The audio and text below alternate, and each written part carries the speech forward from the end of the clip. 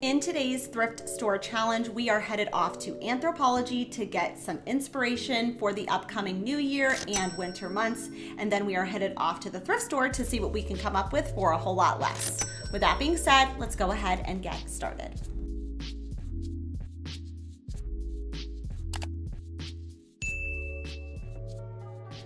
The holidays are in full swing at Anthropologie, and while I didn't take a lot of inspiration from Anthropologie for Christmas, I definitely want to kind of spice up my space for the upcoming new year.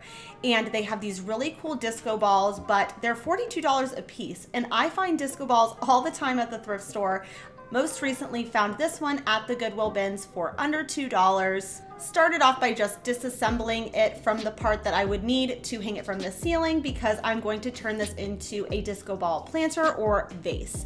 The first thing I needed to do was just remove those mirrored pieces that I was going to need to cover the base section that we will add a little bit later. Using a mask, I'm now going to use my heat tool and just remove this top section here so I can stick a glass vase inside of there because I want to use real florals versus faux. You could also remove more and make it into like an ice bucket for the new year. I think that is another fun idea. I tried out several different lids to see which one was going to be best. Some were too big, some were too small, but then this one was just right and it didn't have like a beveled edge like the other ones did. So I was able to just really easily hot glue and super glue gel all of these mirrored pieces in place so that way the disco ball vase would be able to sit completely upright. All that was left to do was just simply attach these two pieces together and I just did so using some super glue gel and it's held up really well. This project only cost me a few dollars and I think it looks perfect for the upcoming new year. Another festive touch I wanted to add was that I found these little disco ornaments. So I thought this would be a nice way to be able to tell which drink you have and it gives this little festive touch to the holiday.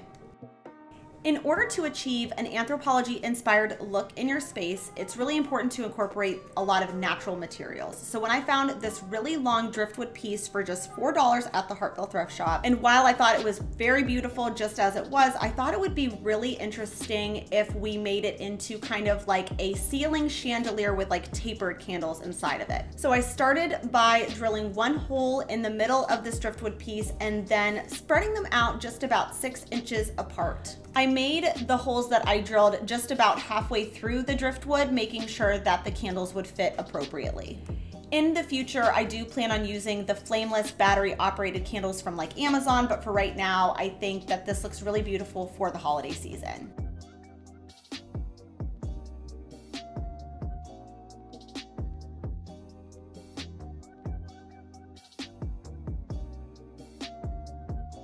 A trademark decor element that I think is really special and unique to Anthropologie is all of the kind of little extra steps that they take to make something feel that much more special and unique. And that will just add a lot of personalization to your space. But you can also do this using thrifted items. So when I found this little trivet tray for just $4, while I could definitely use it as a trivet tray, I think it's so much more beautiful to place up on the wall as like a really special and unique wall hook. The only knob that I had that I liked for this project was black, so I just spray painted it gold and then I just super glue gelled that to this trivet making sure that it was centered before the super glue gel cures completely. But overall, I think this is a really fun way to add some uniqueness and personalization into my space.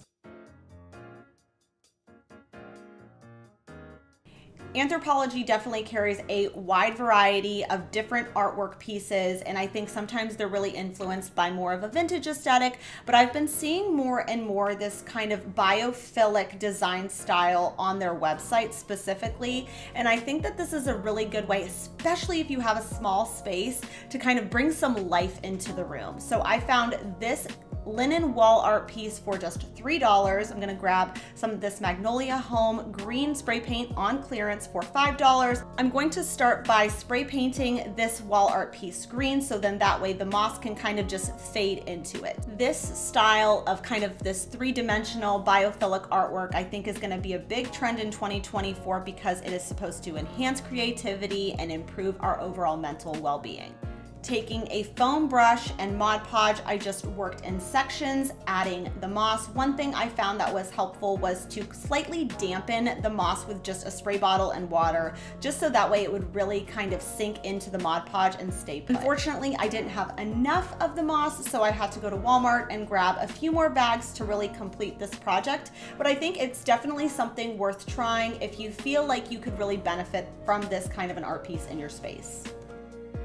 Another thing I found at the Hartville thrift shop was this rectangular mirror for just $2.50. And while I could definitely use it as a mirror, I wanted a more vintage inspired tray for my dining room space.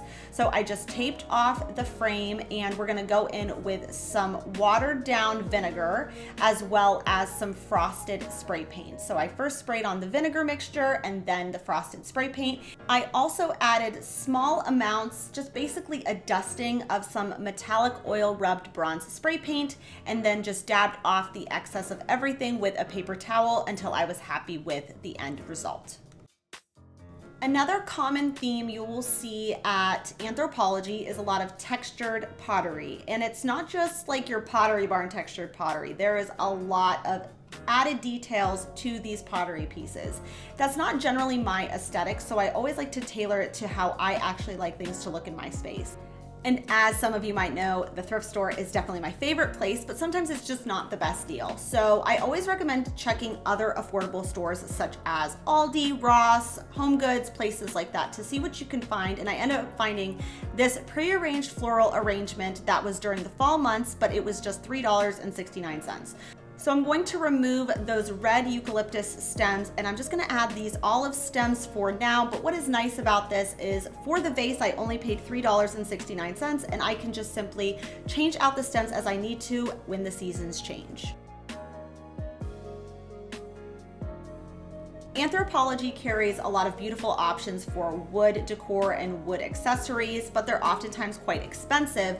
So I always recommend checking the thrift store. And one transition I think we're going to see in the upcoming year for 2024 is darker wood tones. So when I found this wood bowl for just $3, I wanted to make sure that it was food safe first and thankfully it was because I wanted to use this in a really practical way to put either fresh fruits or fresh vegetables in the kitchen that can be displayed.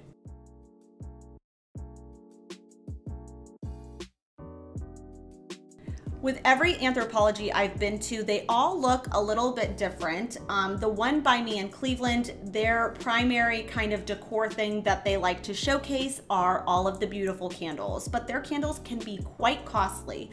So I was really excited when I found this one here for just $5. That was brand new at the Goodwill. And if you watched last week's video where we talk about gifting thrifted gifts, and I found this really beautiful Victoria's Secret robe, and I made kind of like a spa basket it, but there was just one piece missing for me. So when I found this candle, I thought it was the perfect addition and really just tied off this gift. If I were to purchase all of these pieces in this gift box from their original retailers, I would be spending close to $150. But because I thrifted them, I think I spent $30 total for this really beautiful spa gift box. I think generally when people are thinking about Anthropologie, they're thinking it's all these bright colors and bright patterns, and they definitely have that, but they also have a lot of neutrals. And I love some great neutrals, but the key to adding them to your space is you have to then mix it up with your textures because otherwise, yes, of course, it will feel boring if everything is the exact same color and the exact same material. I ended up finding two of these pillows here. This one for me was just, again, a little bit more my style than the mustard lumbar pillow. It was $15, which is generally more than I like to spend, but it was brand new with tags and it matches the color scheme in my space perfectly. A pillow like this from Anthropologie can cost upwards around $60, so I think that it's still a major savings to shop secondhand probably the easiest thing to kind of dupe or find from the thrift store that is oftentimes at Anthropologie is tinted glassware. So if you are a lover of tinted glassware and a lover of Anthropologie, before you go and spend $60 on a set of four glasses or tapered candle holders or whatever, I always recommend at least checking your thrift store because they do oftentimes have really similar and beautiful options. So for example, I found these two little vases that were just a dollar and 25 cents a piece. Also kind of in this category, if you find anything tortoise print or if you find anything that is kind of these really intricate glass patterns. Here are a few examples of some interesting glassware that I found at the thrift store. So I found both of these. The tortoise print one was 50 cents and this clear glass one was just 30 cents, taking a thrifted pillar candle from the bins. And it is a really easy transformation. And of course, if you wanted to kind of specifically make the candles a candle and melt the wax down and put the wick in the middle and do that whole thing, you definitely can. This is just a quick and easy hack if you're short on time my kids definitely love Anthropologie the most and I think for them it's because of all of the influence from animals and they make everything just feel really playful and fun. My son is obsessed with that fox cabinet and my daughter loves this peacock table that they have that has like a glass top. So there's just a lot of interesting things there to look at and it just kind of makes you do a double take but you can also find similar things to that at the thrift store. So for example I found this swan decorative decorative piece for just 75 cents. I wasn't totally crazy about the blue. So I just spray painted the blue parts in this beautiful gold color and added some dimension with some dusting of metallic oil rubbed bronze. And this is the end result. You could also choose to add your soap back there or napkins if you're hosting, or you could even use it as a planter. And that really wraps it up for today, you guys. Thank you so much for watching. Let me know down in the comments which DIY or find was your favorite. I hope everyone has an amazing week. Bye for now.